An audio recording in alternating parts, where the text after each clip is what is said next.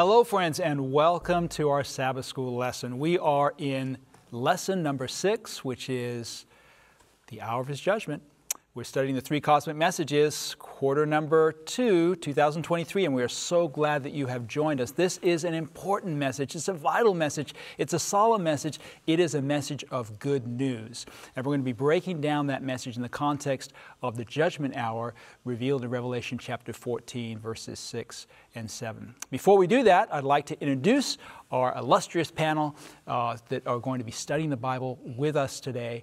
On my left, my immediate left, is Pastor John Lomacang. Pastor? Good to be here, and I'm covering the 2,300 days and the time of the end. That's going to be an exciting study. Sounds good. And to your left, we have Pastor John Dinzey. Pastor, good to have you here. It's a blessing to be here, and another interesting lesson Tuesday the angel's instruction to Daniel. Oh, the angel's instruction to Daniel. Okay, and to your immediate left is Bible expositor Kelly Quinn. I just like being part of the illustrious panel. I have Wednesday's lesson, The Messiah Cut Off. Oh, amen. And then to your immediate left is Pastor Ryan Day. Pastor, good to have you here with us. What Blessing always, and we're going to be covering Thursday's lesson, the year 1844. 1844. So we're covering everything here in our lesson today. But before we get started, before we jump in, we're going to have a word of prayer, and I'd ask, like to ask Pastor John to pray for us sure. as we get started. Loving Father in heaven, as we continue in this study on the three cosmic messages, we do pray that you'll attend mm-hmm. our minds today for the clear proliferation of the truths that are contained in it, that our hearts will be led of your Holy Spirit. Lord, mm-hmm. come now and fill us, that what we speak may be truth and hearts may be changed. We pray in Jesus' name. Amen. Amen. Amen. It's been such a powerful study so far of these three cosmic messages. And of course, the Sabbath School Quarter uh, author, Mark Finley, is really helping us to dig into these lessons. Lots of good insights here um, from that man of God. So, Sabbath afternoon, we have the hour of his judgment based on these texts from the, the Bible Daniel chapter 8, Daniel chapter 9, Ezra 7, Matthew 3, 13 to 17, Romans 5, 6 through 9, very key verses right there in Romans chapter 5, Mark 15, 38, and Leviticus 16, 16. Our memory text is found in Romans 13, verses 11 and 12. So let's take a look at those verses, shall we? And do this knowing the time that now it is high time to awake out of sleep. For now is our salvation nearer than when we first believed. The night is far spent, the day is at hand. So, Paul here is urging believers to get ready, to prepare, to put on the armor of God, to do this because we know that the time is near. And indeed, as we study the judgment hour, we're going to know that the time is at hand. The time of Christ's second coming is at hand because his coming is going to come following the finalization, the finishing up of the judgment hour. So when we look at the lesson, beginning in, in uh, Sunday's lesson, we have a basic overview of what God is wanting to do for us in a uh, story, an illustration that's given of this hen that covers her chicks during a fire. She is completely destroyed by the fire, but as uh, these people come through to the burned area and they, they find this, this pile of feathers, as they kick the feathers aside, all these chicks, these live chicks, come out from under that pile of feathers. And this is exactly what God wants to do for us in the time of judgment. He wants to cover us with the righteousness, that is, the right doing, the right living, the perfect uh, holy life of Jesus, and of course, his death in our behalf, his substitutionary death. Psalm 91 talks about being covered by his feathers and dwelling under his wings. Psalm 91 is a great psalm to memorize to help us to remember the the work of God in our behalf in the heavenly sanctuary in, as our mediator. And so the fires of God's judgment burn themselves out on Jesus Christ, the quarterly goes on to say at Calvary. And all who are in Christ are safe forever beneath his wings. At the cross, Christ was judged as a condemned sinner so that we could be judged as righteous citizens of the heavenly kingdom. He became sin for us. He didn't sin. He didn't deserve the wages of sin. He didn't deserve to be treated as, a sinner, but He became sin for us so that we could become the righteousness of God in Him. We don't deserve the righteousness of God. We didn't earn the righteousness of God. Just like He didn't deserve sin and the consequences, we don't deserve His righteousness. But it's a gift, and God has given that gift to us in Jesus Christ. This is what we need to stand in the judgment. He was judged as a criminal so that we could be set free from the destructive fires of eternal loss, both figuratively and, yes, literally as well. So let's go into Sunday's lesson. That was actually Sabbath's lesson. I mentioned it was Sunday, it was Sabbath's lesson. Let's go into Sunday's lesson. It's called The Cleansing of the Sanctuary. And we're going to read Daniel chapter 8 and verse 14. So if you'd like to open your Bibles there to Daniel chapter 8 and verse 14. This verse is a key verse, a foundational verse for the Seventh day Adventist Church and the movement of the Seventh day Adventist Church. Daniel 8 and verse 14, here's what it says And he said unto me, Unto 2,300 days, then shall the sanctuary be cleansed. So, this is the longest prophecy in Bible history. We don't see any prophecy that is longer than this one. In fact, it takes in all of the other time prophecies of the Bible. We understand those days to be prophetic days. So when we look at prophetic days, we interpret them as literal years. So we could say this is the 2300 prophetic day or 2300 literal year prophecy in the book of Daniel. It stretches all the way from 457 BC to AD 1844. And encapsulated in that prophecy is this beautiful picture of the anointing of the Messiah who would come to do away with our sins, our transgressions, and our iniquities. And we're going to break that open as we study it more here in our Sabbath school lesson. So, each uh, of the Jewish believers, each of the Hebrews understood the meaning of the cleansing of the sanctuary. Sometimes we can read that, you know, the, the, the history of our church uh, goes back to the Millerite movement, and they understood the cleansing of the sanctuary to mean the cleansing of the earth by fire when Jesus returns. But if they would have asked a Hebrew, he would have said, no, no, no, no, no.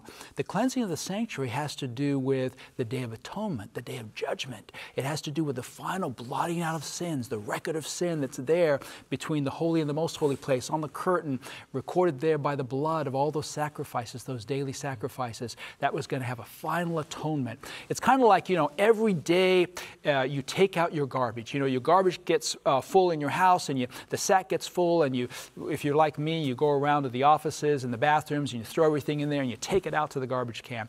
But once a week, the garbage collector comes and the garbage collector takes that garbage to the dump. That's now, right. as long as that garbage is out of your house, you're good.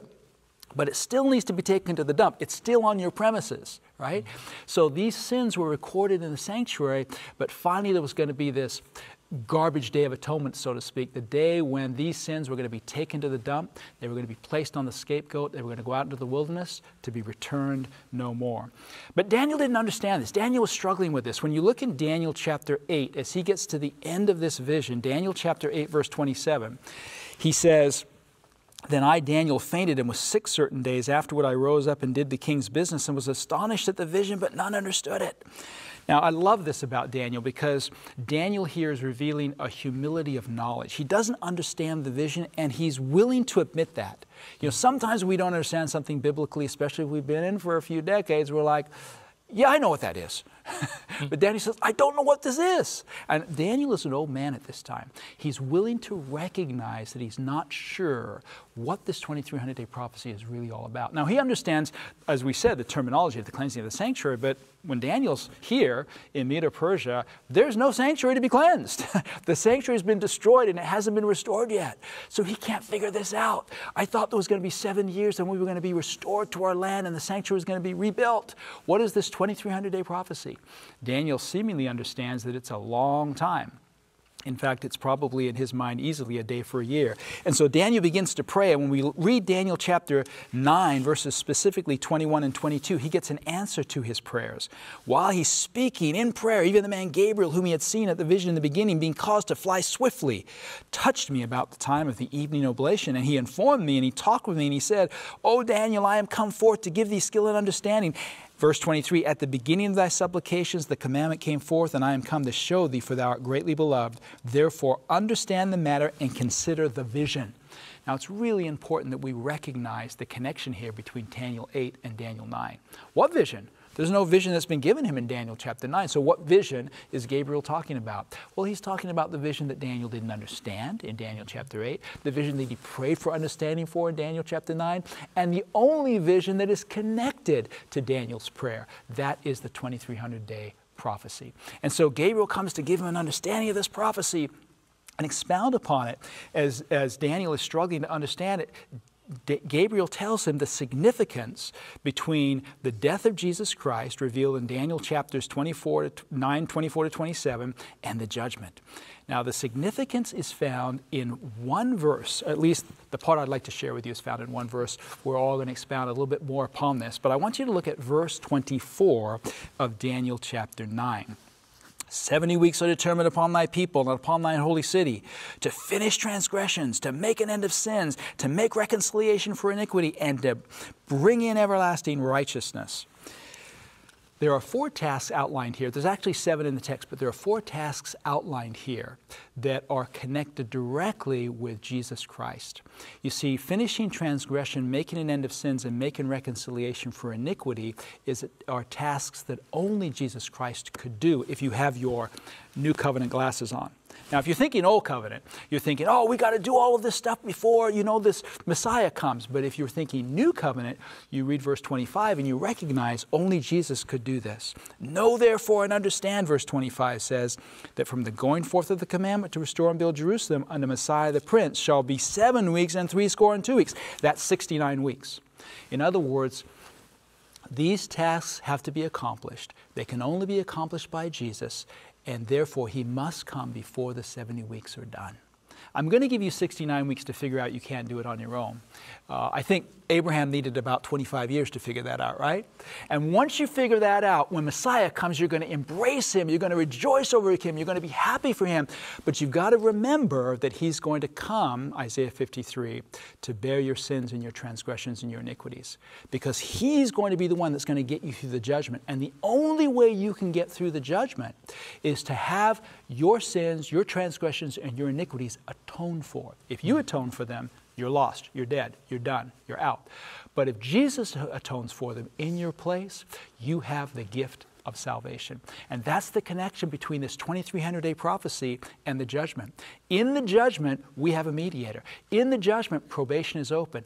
In the judgment, we have someone who propitiates for our sins, someone who stands in our behalf and pleads his righteousness, his right living, and his righteous death, substitutionary death in our behalf. And you know what 1 John chapter 2 verses 1 and 2 say? He's not just the propitiation for our sins.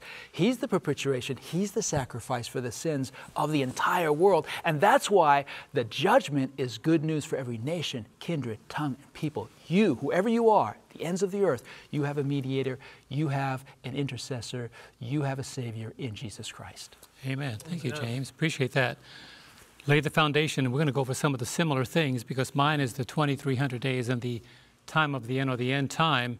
And we're in Daniel 8. Let's look at that again, Daniel chapter 8. And I'm going to look at verses 17 to verses 19, because a part of the vision is the timing of it. You know, some expositors or some theologians argue that this is a literal 2,300 year period, which would be about nine years after Daniel was given the vision. But that's not possible because it was clear. Days, yeah. Yeah, yeah, I said 2,300 days. A lot of people think it's a literally 2,300 day period, but um, it could not be because this is not the time frame that the prophecy is set in. Because verse 19 says time of the end, and time of the end is the most significant part because it has a beginning point in the prophecy, and then it has an ending point. point, and each of the components of the prophecy is to outline a certain aspect of the ministry of Christ, as James pointed out. There are certain aspects of this, and I'll just go over that very quickly. The, the seven things are the purpose of the seven weeks in verse 24 is 70 weeks are determined for your people and for your holy city. So, right away, Daniel knows that is specifically pointing to the Jewish people to finish the transgression. Which was a, a journey that they were on, they continually struggled with transgression to make an end of sins, to make reconciliation for iniquity, to bring an everlasting righteousness, to seal up the vision and prophecy, and to anoint the most holy. So when you look at the cadence of this, Daniel even outlines the aspects of it that make it clear that also the time that Daniel is given this vision is brought out in verses 9, verses 23, and verses 24. Let's look at verse 9 of Daniel 8. Let me turn there. I have it in my lesson, but I want to go ahead and look at it in the Bible. Okay. Daniel chapter 8 and verse 9. And out of one of them came a little horn which grew exceedingly toward the south toward the east, and toward the glorious land. Now, this little horn that's referred to is the, the power of Rome growing in its ascendancy. But now, now you'll notice in verse 23 the pulling together of this. And in the latter time of their kingdom, when the, transgressor, when the transgressors have reached their fullness, a king shall arise having fierce features, who understands sinister schemes. His power shall be mighty, but not by his own power. He shall destroy fearfully, and shall prosper and thrive. He shall destroy the mighty, and also the holy people. Now, it's interesting that the Bible points out that this power is not from him. When you look at the rise of Rome again in Revelation chapter 13, it makes it clear where the power is coming from. The dragon gave him his power, his seat, and great authority. So the persecu- persecuting power behind the people of God is not just Rome as a government, or Rome as a system, or Rome as a political movement, or Rome even as a religio political system, but the motivating power behind that is the very one who resists truth, who resists light, and that is Satan himself, giving rise to that power. The Bible also points out some other aspects. Look at verse 10 and 12 of Daniel chapter 8. Speaking about the little horn, and it grew up to the hosts of heaven, and it cast down some of the hosts and some of the stars to the ground, and trampled them. He even exalted himself as high as the prince of the hosts, and by him the daily sacrifice were taken away. The daily sacrifices were taken away and the place of his sanctuary was cast down. In verse 12, because of transgression, an army was given over the horn to oppose the daily sacrifices. And he cast truth down to the ground. He did all this and prospered. Let me add there, prospered temporarily, mm-hmm. because God really has the final say. The powers of Rome, as well as the powers of Medo Persia, the powers of Babylon, and the powers of Greece, each one of those has a temporary time to reign.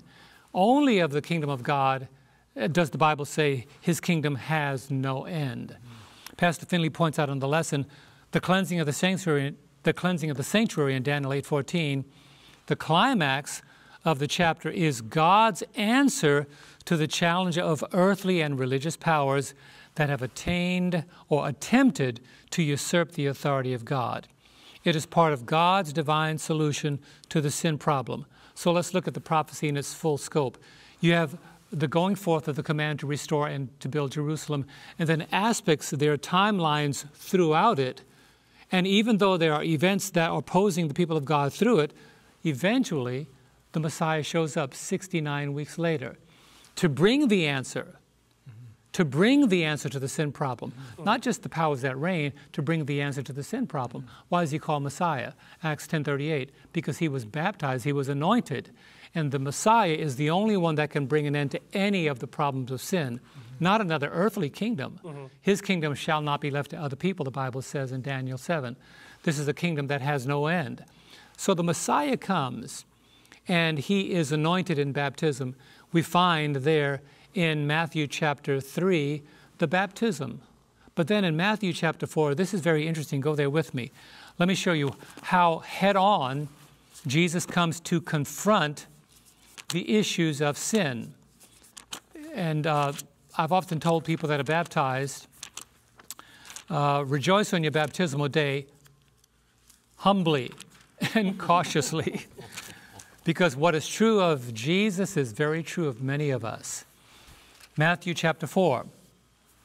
Then, this is following the baptism. This is following the declaration, This is my beloved Son, in whom I am well pleased. Then, verse 4 Then Jesus was led up, notice, by the Spirit into the wilderness to be tempted by the devil. Is it ironic? We talked about the church in the wilderness. Mm. Jesus was in the wilderness. The church was tempted in the wilderness. Jesus was tempted in the wilderness. The church faltered in the wilderness. Jesus was victorious in the wilderness. Look at verse 2. And when he had fasted 40 days and 40 nights afterward, he was hungry.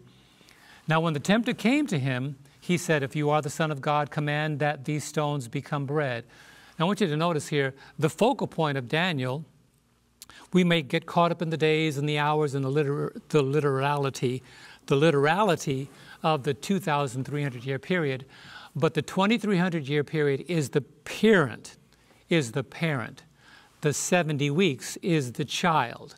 Now, I use that terminology in web design because you have the overall page, which is the parent, and components in the page are considered the child. So the 2,300 year period is the parent. It encompasses the whole timeline from the decree all the way to 1844, mm-hmm. as James pointed out.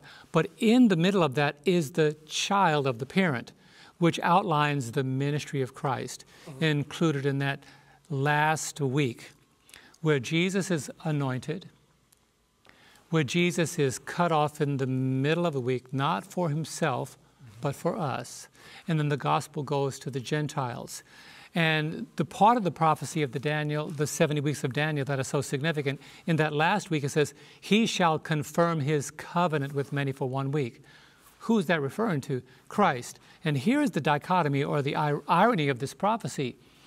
You see, that last year, that last seven year period, is what rapturists and dispensationalists take out of the prophecy. Mm. The Bible refers to it as uh, the anointed, the Messiah, Messiah, Messiah, repetitively mentioned in Daniel 9, verse 24 to 27. It's referred to, uh, to the Christ. But rapturists and dispensationalists take that one week period and they push it far into the future and they apply it to the Antichrist. Mm.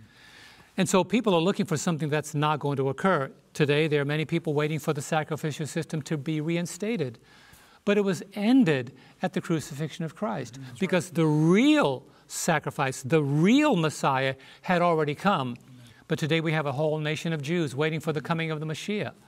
We have people on earth that are evangelicals waiting for the temple uh, sacrificial system to be reestablished, the red heifer, as it were for the Jews to be converted and take the gospel to the world. Let me just make a statement that's very clear and very concise according to Scripture. The Jews will no more be converted today than they were in the time of Christ. As a nation, is salvation available for everyone? For everyone. The Jew and the Gentile and every other nationality. But as a people, mm-hmm the gospel has gone to the Gentiles. And that's why the gospel that we're talking about, the everlasting gospel, Revelation chapter 14, the hour of God's judgment, is not just for a specific nation, but for everyone. And the focal point of the prophecy is salvation in Christ. Amen. Amen. Every nation, kindred, tongue, and people. Well, there you have it. We've gotten a good start on this message on the hour of God's judgment. Don't go away. We'll be right back.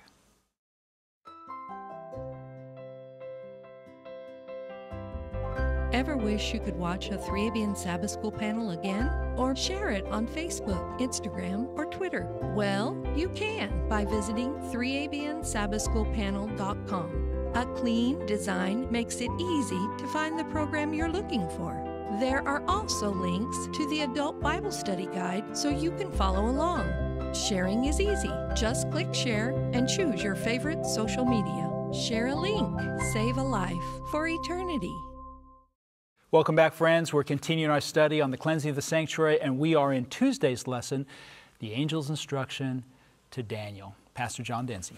Thank you. Yes, the, the angel's instruction to Daniel brings us into Daniel chapter 9. And uh, I'm going to back up. The lesson uh, points out verse 23 because this is very important because the angel is coming to give instruction to Daniel. But before this, Daniel had some kind of preparation he was making. Daniel chapter 9, verse 20. Now, while I was speaking, praying, and confessing my sin and the sin of my people Israel, and presenting my supplication before the Lord my God for the holy mountain of my God.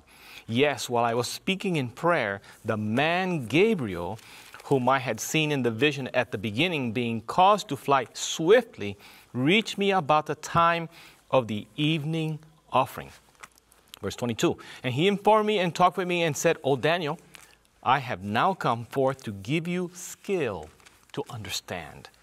And so this is something vital in my uh, understanding because uh, God wants us to do the same thing Daniel was doing.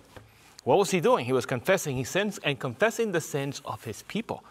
But he was praying to the Lord. He was in communion with the Lord.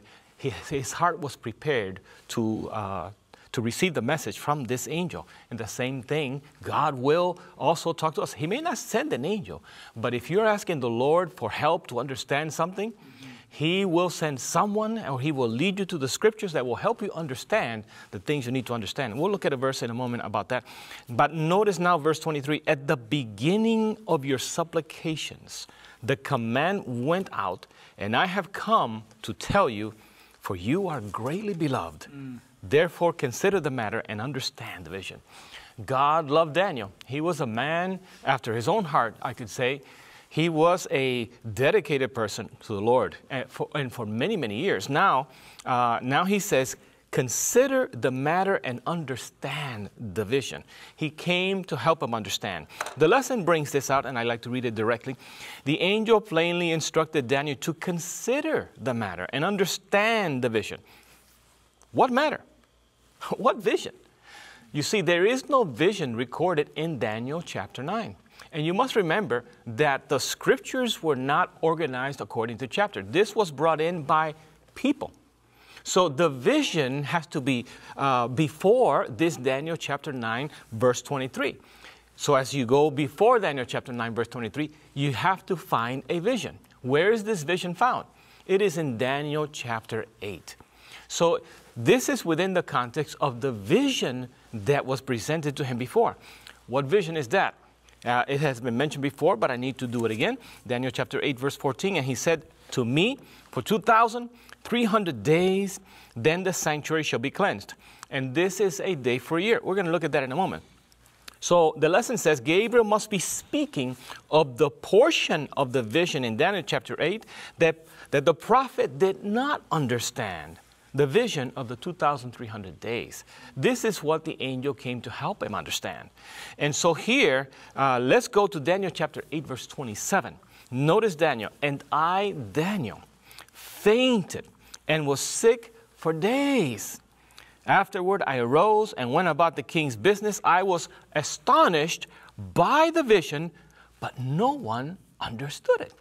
And perhaps he even talked to his uh, uh, brethren of, of, of, confidence. Hey, I had this vision, but I can't understand this thing. And he was uh, sick. I mean, this is somebody that wants to understand the vision. And the Lord answered his prayer. Uh, I'd like to bring this out to you in, from Jeremiah 33, verse 2 and 3. Uh, it says, Thus saith the Lord, the maker thereof, the Lord that formed it, to establish it, the Lord is his name. Call unto me, and I will answer thee and show thee great and mighty things which thou knowest not. God is willing to do this for us as well. What should we do? We need to prepare our heart. We need to be studying the scriptures. Studying the scriptures, seeking to understand, and asking the Lord for the blessing, asking the Lord for the Holy Spirit so that we may uh, be blessed to understand the scriptures. And sometimes you may find a portion of the scriptures that, boy, I really don't understand that.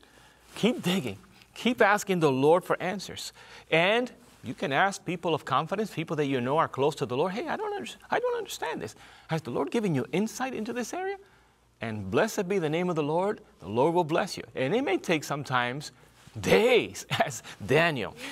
and sometimes weeks. I've had a case for months for myself. months I didn't understand. I was praying to the Lord, Lord, help me to understand. Help. And you know, the time came when the Lord says, You're ready now. Here it is. Praise be to his name. So let's go ahead and go now to Daniel chapter 9, verse 24. It has already been mentioned. This is a, a, uh, a message that continues to build and build upon uh, one another. 70 weeks are determined for your people, Daniel 9 24, and for your holy city to finish the transgression, to make an end of sins to make reconciliation for iniquity, to bring in everlasting righteousness, to seal up vision and prophecy, and to anoint the most holy. This is a scripture that is uh, uh, vital for God's people to understand. Daniel 9, uh, beginning in verse 24, all the way to the end of the chapter, we need to understand this prophecy. And this is what we're trying to bring to your attention here. This is a message for the time of the end. And we need to understand this. And in a moment, you're going to hear the, the, how this was fulfilled, these 70 weeks. Now, we're talking about 70 weeks. So a week is composed of how many days? Seven days. Seven days. So 70 times 70 equals 490. Now, the lesson brings something out that is very important. The, the, the verse in Daniel 9 24, the New King James Version says, 70 weeks are determined for your people. Determined is the word we're going to look at. And this is the word that is chatak. And the word chatak in Hebrew means determined. Another word is cut off. Well, cut off from what? You have to have something uh, in order to cut something out of it. And this again takes us back to the vision in Daniel chapter 8, verse 14. So the lesson says the first portion of this prophecy relates to God's people, the Jews. 70 weeks are determined for your people, that is the Jewish nation. In Bible prophecy, one prophetic day equals one literal year. So, where do we get that from? One of the places is Ezekiel chapter 4, verse 6, and Numbers 14, 34. We only have time to read one. Let's go to Ezekiel chapter 4, verse 6. And when you have completed them, lie again on your right side. Then you shall bear the iniquity of the house of Judah 40 days. I have laid on you a day for each year. So this is the uh, one of the scriptures that helps us to understand that in Bible prophecy, one day equals one year. One literal day equals one literal year. So 70 weeks, 70 times 7 is 490 days. But in Bible prophecy, one day equals one year. We're talking about 490. And it's beautiful how the Bible gives us the answer because it even gives us the starting point. So when we begin to count, is prophecy good with, uh, when you mention um, amount of days or years and you don't have a starting point? You're left in the dark still. Well, there's 490 years. Well, where do you begin? And so this is a, a marvelous way to study the Bible, look for answers. And so let's go ahead and go here to uh, the lesson again. It says Gabriel tells Daniel that 400 uh, years are cut off. The literal meaning of the Hebrew word chatak, sometimes called determined, means cut off. And cut off from the prophecy, the vision in Daniel chapter 8, verse 14. Let's continue the uh, message that the angel gave to him. We now move to Daniel chapter 9, verse 25. Know therefore and understand that from the going forth of the command to restore and build Jerusalem until Messiah the Prince, there shall be seven weeks and 62 weeks. This is equal to 69, of course. The street shall be built again. Notice the details, and you're going to hear about that in a moment. The street shall be built again, and the wall, even in troublesome times, and after the 62 weeks, Messiah shall be cut off, but not for himself. And the people of the prince who is to come shall destroy the city and the sanctuary. The end of it shall be with a flood. Until the end of the war, desolations are determined. Then he shall confirm a covenant with many for one week. And you've heard this is talking about Christ. But in the middle of the week, in the middle of that seven year period, he shall bring an end to sacrifice and offering. And on the wing of abomination shall be one who makes desolate, even until the consummation, which is determined, is poured out on the desolate. This is really a setup for the rest of the lesson that you will hear starting with Sister Shelley Quinn. I love this. We were saying during our break that uh, we wished we had some graphics, but there's enough repetition here. Perhaps our words, our feeble words, can help you understand. I'm Shelley Quinn.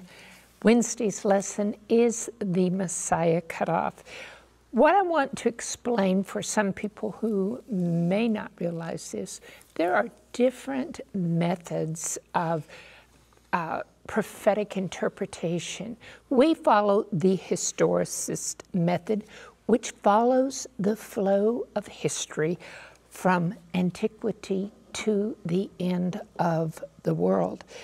And it's important to note that futurists, when you were talking about those who are, are cutting off in uh, the uh, final week and putting it down at the end, this was born during the Counter Reformation to try to offset the clear finger pointing at the religio political power. So let's go back here. That was probably clear as mud. In Daniel 8:14, we've got the 2300 day prophecy till the cleansing of the sanctuary. 2300 years. That's a day for a year. Let's read Daniel 9:24. 70 weeks are determined, they're decreed for whom? For your people, Daniel, that would be the Jews, and your holy city, Jerusalem, to finish the transgression, make an end of sins, to make reconciliation for iniquity, to bring in everlasting righteousness, to seal up the vision and prophecy, and to anoint the most holy. So 70 weeks, seven days in a week, that's a 490 day prophecy. The literal day for a year, it's a 490 year prophecy, is determined for God's purposes to finish the work with the Jewish nation. The first 490 years of these 2300, if we take it out, it's divided into seven weeks, 62 weeks, and a final week. 70 weeks are cut off right from the beginning of this 2300 day prophecy and set aside for the Jewish nation to come into compliance with God's requirements. The remaining 1810 years are for all nations. But I want to make this point. These are 70 consecutive weeks. There's seven weeks plus 62 weeks plus the final week. You cannot look at a 70 week prophecy and, as futurists interpret, lop that final week off, put it way down here at the end of time, then it would be a 69 week prophecy. No, it's a 70 week prophecy. Daniel 9 25. Know therefore and understand that from the going forth of the command to restore and rebuild Jerusalem until Messiah the Prince, there shall be seven weeks and 62 weeks. That's 69 of those 70 weeks. What's he saying? In 69 weeks, 483 years, the Messiah is coming. The Jews shouldn't have missed it. I'm, this is the most exciting time mm-hmm. prophecy in the whole Bible that he's saying from the time that this command goes forth to rebuild and establish Jerusalem. And when you think about that, how do we know when this began? There were various decrees that were passed regarding Jerusalem, but it was King Artaxerxes' decree that's recorded in Ezra 713 and 27 that was issued in the autumn of 457 BC that fulfills this prophecy because not only were they going to be able to return to their homeland, but they could establish themselves once again as a religious community. So, from the time of this decree, from 457, you go forward seven weeks plus 62 weeks, 69 weeks times seven, that's 483 years. From 457 BC, add 483, and what do you get? 27 AD. So, what happened in 27 AD? Jesus was baptized. The Messiah was anointed. The Holy Spirit came down on him and lit on him like a dove. So now, what happens to the 70th week? It's all part of that seven weeks, 62 weeks plus the final week. That's the 70 week prophecy. Listen to this Daniel 9 26. After the 62 weeks that followed the 70, the first seven weeks, so that would really be at the end of 69 weeks, Messiah shall be cut off, but not for himself. The word there is karat. It is a covenant word. And here's what Strong's dictionary, how they define it. To cut off, cut down, fail, cut or make a covenant or agreement. Messiah, Isaiah 53 8 says that he was cut off from the land of the living for the transgressions of my people. God says he was stricken. Isaiah 53 5 says, He was wounded for our transgressions, He was bruised for our iniquities. The chastisement for our peace was upon Him. By His stripes we are healed.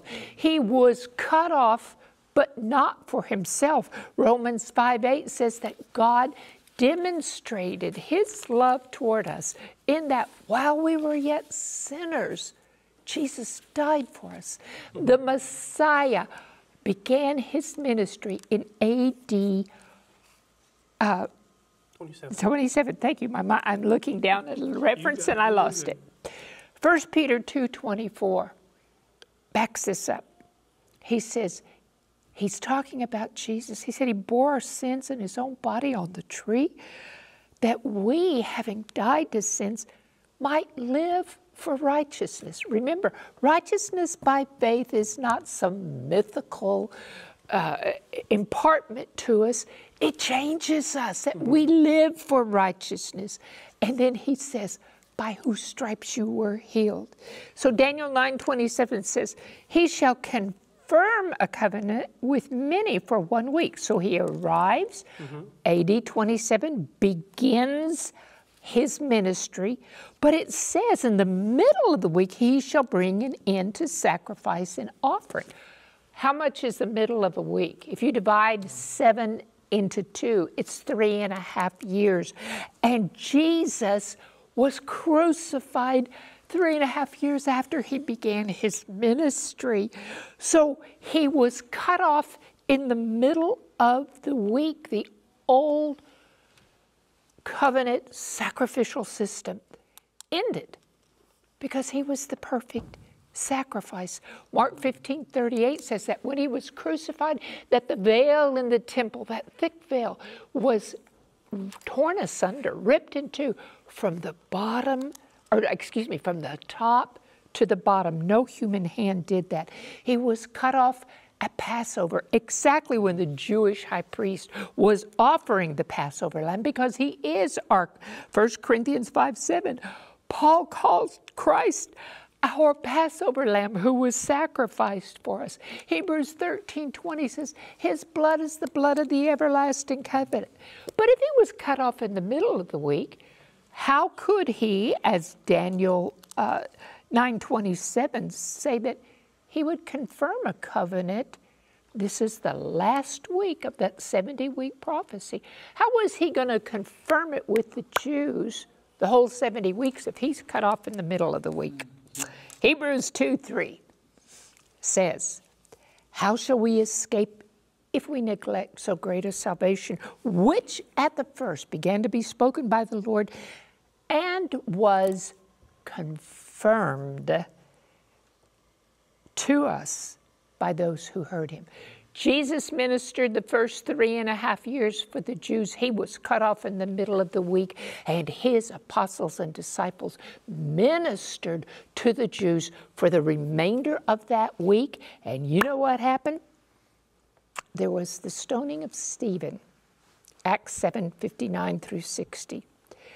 That happened in AD 34. Jesus began his ministry AD 27. Seven years later, AD 34, Stephen was stoned. And I think that was probably the end of that 70 week prophecy. I don't think I know. I know, yeah. yes. My name is Ryan Day. I have Thursday's lesson entitled uh, The Year 1844. And, you know, I just have to say everything that, that, I've heard so far just from the panel. You guys have done an incredible job. This is, to, to break this subject down in less than an hour is just incredible.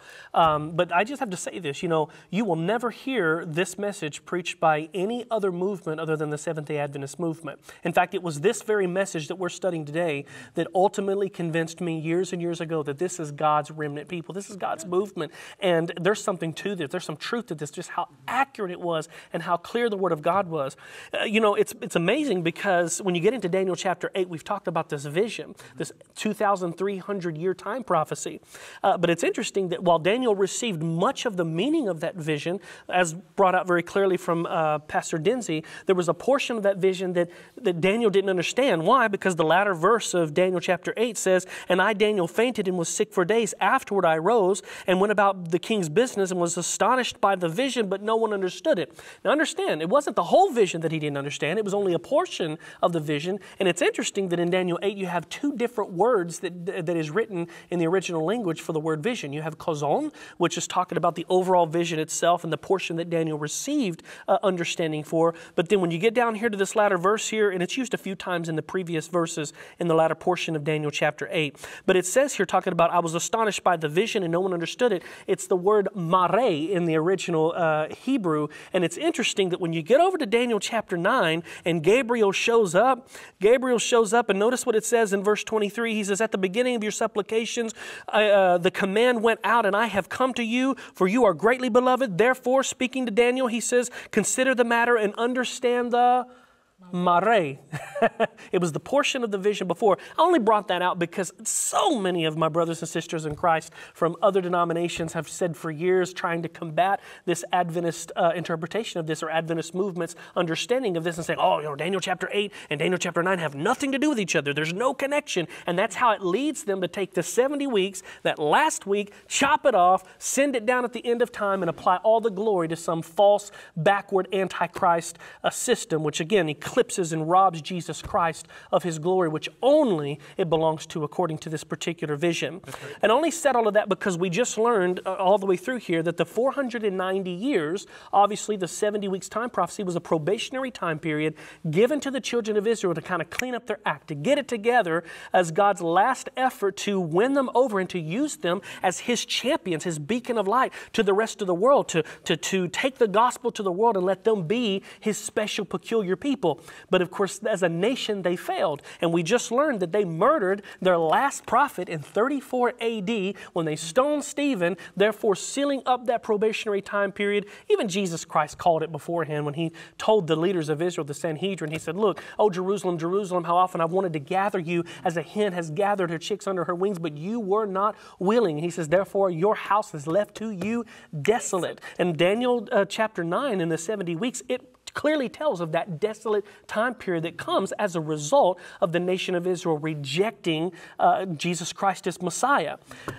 But all of that said, we're talking about the year 1844. How do we get there? Well, we just learned that in 457 BC, according to the command to restore and build Jerusalem, we're talking about a complete restoration of Jerusalem. We're not talking about just a, a decree. There was two or three decrees given by Cyrus and Artaxerxes to go, or Nehemiah to go finish building the city or to go finish or start the rebuilding of the temple. But there's only one decree, as we saw there in Ezra chapter 7, that clearly brings about a, a decree to bring about a restoration of the statehood of Jerusalem. In other words, to establish government, to establish magistrate, magistrates, and to bring back that independent statehood that was taken away from them by Nebuchadnezzar 70 years before.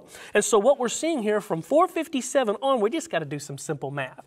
If you count from 457 and you just add 2,300 years to that, considering that period of a year between 1 BC and 1 AD, uh, you clearly get to the year 1844. And that's where we're kind of picking up here. I don't want to so much focus in on the math of that because the math is simple, the math is credible, the math is clear.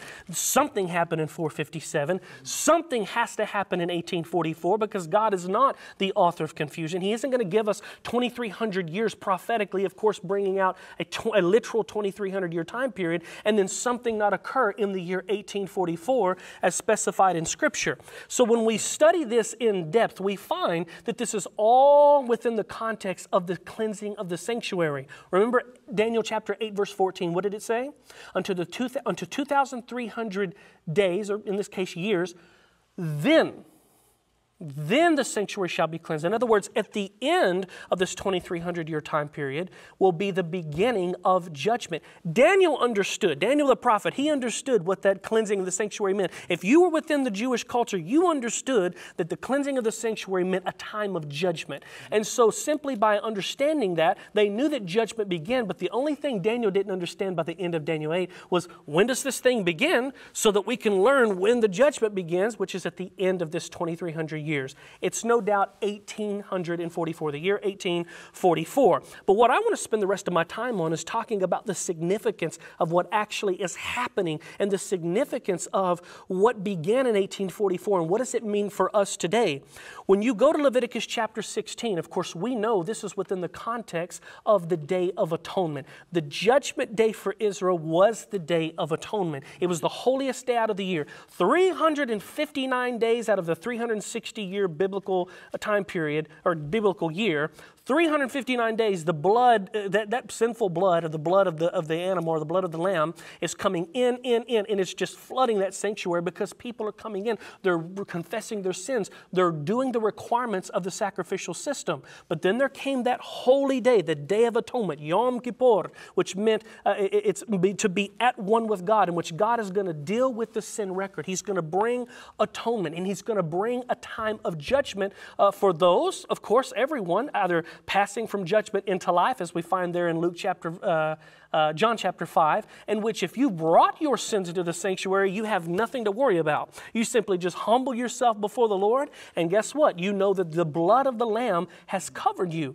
But if you did not send your sins into the sanctuary, if you did not humble yourself uh, any of those other days to confess your sins and to go through the sacrificial requirements in order for your sins to be forgiven, then you had a fearful looking forward to judgment on this day. Now, I'm not going to read all of Leviticus 16 because there's a lot to consider there, but what ultimately happened on this day is the high priest only would take a bull from himself, and for his household, he would offer it as a sin offering. And only by that could he appear into, past the veil, into the most holy place of the, of the sanctuary. He would sprinkle some of that blood upon the uh, mercy seat, therefore cleansing himself and his household. But now he has to take a goat, and there was two goats, and he would cast lots and on whichever the lot fell for the Lord, he would take that particular goat and he would, the, the, the, goat would be slain on behalf of all of Israel's sins that had been brought into the sanctuary during that year. And the blood of that goat would be again taken by the high priest only, past the veil, into the uh, most holy place and sprinkled up on the mercy seat, thus signifying that all of the sins that had been brought to the Lord and had been humbled and brought and appeared before the Lord in the sanctuary all that year, all of those people who had done that, that record now is being placed before the Lord, and God is going to do His cleansing, atoning work in dealing with that record of sin and, and cleansing it once and for all for all of the sin that hadn't been brought in. And of course, we can talk about the scapegoat another time. But the point we're getting at is this was a day of judgment. Once that work had been begun, and once the, the, um, holy place had been cleansed, this was an atoning work for them. In fact, Leviticus 16, verse 16 says, So he shall make atonement for the holy place, which we mentioned, because of the uncleanness of the children of Israel and because of their transgression for all their sins, so he shall do for the tabernacle of meeting, which remains among them in the midst of their uncleanness. But when you get down to Leviticus 16, verses 29 and 30, also notice what it says This shall be a statute forever for you. In the seventh month, on the tenth day of the month, you shall afflict your souls. Everyone was supposed to humble themselves. They would pray toward the sanctuary, recognizing that they were sinners. And Lord, only you can deal with this sin. Only you can search me. The affliction of the soul, a deep, deep, deep spiritual inventory in which a person would humble themselves to God and say, Lord, show me my sin so that I may give it to you. And then he goes on to say, and do no work at all, whether a native or of your own country or a stranger, for on this day the priest shall make atonement for you to cleanse you, that you may be clean from all your sins before the Lord. Now, how does this equate to the year 1844? In 1844, while many of the Millerites had missed the point in thinking that the cleansing of the sanctuary was the cleansing of the earth by fire and the return of Jesus, Jesus was indeed moving not to come to this earth, but he went from the holy place, just like the high priest did from on the day of atonement, from the holy place into the most holy place. And Jesus Christ began the work of judgment in the Father's presence, taking him and his sins and the blood that he had shed for us, and he had pleaded, he had laid it down before the Lord as the full atoning sacrifice for everyone. And thus, since the year 1844, all the way till now, according to Revelation 14, verse 6, we have been living in what the Bible calls God's judgment hour. Amen. Amen. Amen. Thank you, Ryan, Shelley, John, John. We've got a couple minutes for some closing thoughts. The focal point of the entire topic we've been covering today, the cleansing of the sanctuary, to me boils down to John 1:29. If you miss, you can miss all the days, but behold the Lamb of God mm-hmm. that takes away the sin of the world. When you find Christ, that prophecy finds significance. Mm-hmm. Don't apply it to the Antichrist it belongs to the Christ. Amen, amen. And I encourage you to consider what Jesus has done for you and continues to do in the holy sanctuary place, in the most holy sanctuary in heaven. Mm-hmm. He is ministering in our behalf. Mm-hmm. In the middle of the week, Messiah was cut off, the middle of the 70th week, not for himself, for this purpose. 1 Peter 1.18, to redeem redeem us, not by corruptible things like silver or gold, but with the blood, uh, the precious blood of Jesus as a lamb without spot or blemish. Amen. Amen. As we've learned in a previous lesson, we don't have anything to worry about. This judgment is not bad news, it's great news because Jesus is both he is both our advocate and judge. And the Bible says if you believe on the Father and believe on him, then you will pass from judgment into life. Amen. And that's why the cleansing of the sanctuary is the everlasting gospel. It is good news. And we're so glad that you have joined us as we study this good news in Revelation's three cosmic messages. We're going to continue to study this theme. Our next lesson is lesson number seven, and it's entitled Worshiping the Creator. That's part of the three angels' messages, or three cosmic messages. So be sure and tune in next time as we continue to study this important message.